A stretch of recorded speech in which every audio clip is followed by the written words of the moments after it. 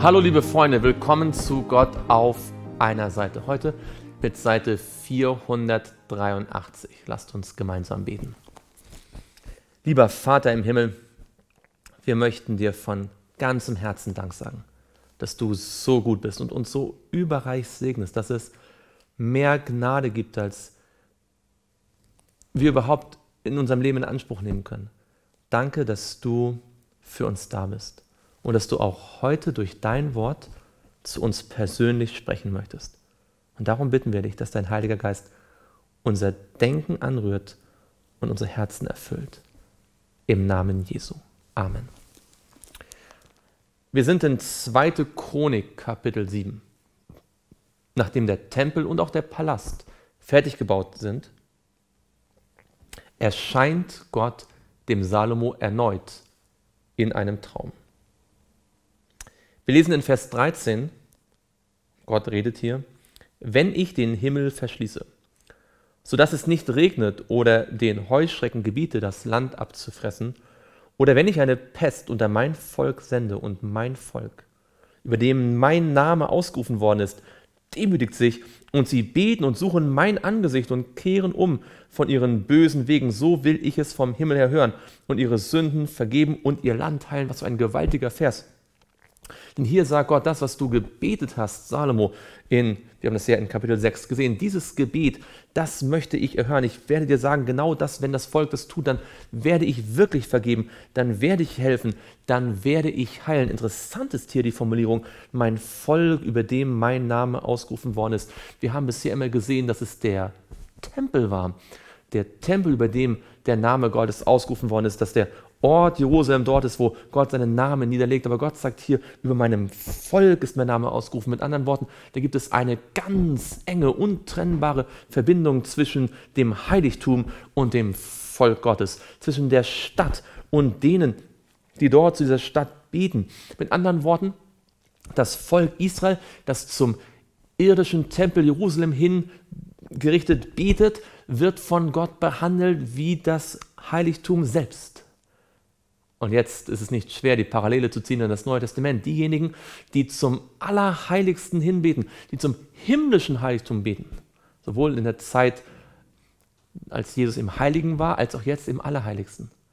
Diejenigen, die dorthin beten, werden von Gott selbst als Heiligtum betrachtet. Und das erklärt eine ganze Reihe von Bibeltexten, wo dieser Gedanke ausgeführt wird, dass wir ein Heiligtum sind, sowohl persönlich als auch als Gemeinde. So sollen nun meine Augen offen stehen und meine Ohren achten auf das Gebet an diesem Ort. Ich habe nun dieses Haus erwählt und geheiligt, dass mein Name ewiglich dort sein soll, und meine Augen und mein Herz sollen da sein alle Tage. Gott sagt nicht nur, dass er mit seinen Augen dort ist, dass er alles ansieht, sondern sein Herz, seine Gedanken sollen dort sein. Es liegt Gott buchstäblich am Herzen, das Heiligtum, die Gemeinde. Und was dich betrifft und was dich betrifft, wenn du vor mir wandelst, wie dein Vater David gewandelt ist und du alles tust, was ich dir geboten habe und meine Satzung und meine Rechte befolgst, so will ich den Thron deines Königtums über Israel auf ewig befestigen, gemäß dem Bund, den ich mit deinem Vater David gemacht habe, indem ich sagte, es soll dir nicht fehlen an einem Mann, der über Israel herrscht. Wenn ihr euch aber abwendet und meine Satzungen und Gebote, die ich euch vorgelegt habe, verlasst und hingeht und anderen Göttern dient und sie anbetet, so werde ich sie aus meinem Land herausreißen, das ich ihnen gegeben habe, und dieses Haus, das ich meinem, das ich meinem Namen geheiligt habe, werde ich von meinem Angesicht verwerfen und es zum Sprichwort setzen und zum Spott unter allen Völkern. Gott macht sehr deutlich, es, hängt, es geht nicht um das äußerliche Heiligtum. Es geht nicht um ein Gebäude. Wenn Sünde im Herzen wenn Zweifel im Herzen gehegt wird, wenn Götzen im Herzen gehegt werden, dann nützt auch der schönste Tempel nichts. Und die Geschichte Israels bietet eine ganze Reihe von traurigen Beispielen im Alten Testament dafür. Und über dieses Haus, das erhaben gewesen ist, wird dann jeder, der an ihm vorübergeht, sich entsetzen und sagen, warum hat der Herr diesem Land und diesem Haus so etwas angetan? Dann wird man antworten, weil sie den Herrn, den Gott ihrer Väter, der sie aus dem Land Ägypten geführt hat, verlassen haben und sich an andere Götter gehängt und sie angebetet und ihnen gedient haben. Darum hat er all dieses Unheil über sie gebracht. Leider ist auch das in der Geschichte Israels genauso passiert. Und es geschah, als die 20 Jahre verflossen waren, in denen Salomo das Haus des Herrn und sein eigenes Haus gebaut hatte. Mit anderen Worten, ungefähr die Hälfte der Regierungszeit Salomos ist äh, für den Bau des Tempels und für den Bau des Palastes aufgewandt worden. Und wenn wir das hier chronologisch richtig verstehen, dann ist zu diesem Zeitpunkt Salomo immer noch Gott treu gewesen. Er muss also erst in der zweiten Hälfte seiner Regierung immer mehr von Gott abgefallen sein, wie wir es ja im Buch der Könige dann auch deutlich beschrieben sehen. Da baute Salomo auch die Städte aus, die Huram dem Salomo gegeben hatte, und er ließ die Kinder Israels darin wohnen.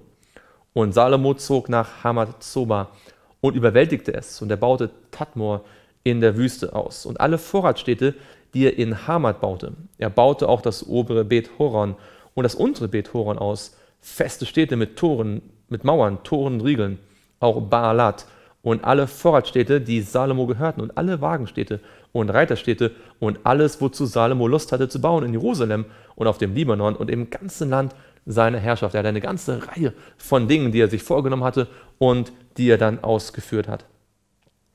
Und alles Volk, das von den Hethitern, Amoritern, Pheresitern, Heuitern und Jebusitern übrig geblieben war und nicht zu Israel gehörte, ihre Söhne, die im Land nach ihnen übrig geblieben waren, welche die Kinder Israels nicht vertilgt hatten, machte Salomo fronpflichtig bis zu diesem Tag. Aber von den Kindern Israels machte er keine zu Leibeigenen für seine Arbeit, sondern sie waren seine Kriegsleute und Oberste seiner Wagenkämpfer und Oberste über seine Streitwagen und über seine Reiter.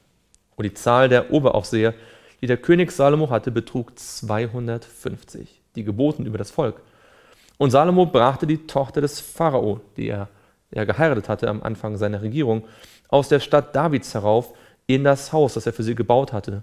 Denn er sprach, meine Frau soll nicht im Haus Davids, des Königs von Israel, wohnen, denn die Städten sind heilig, weil die Lade des Herrn hineingekommen ist.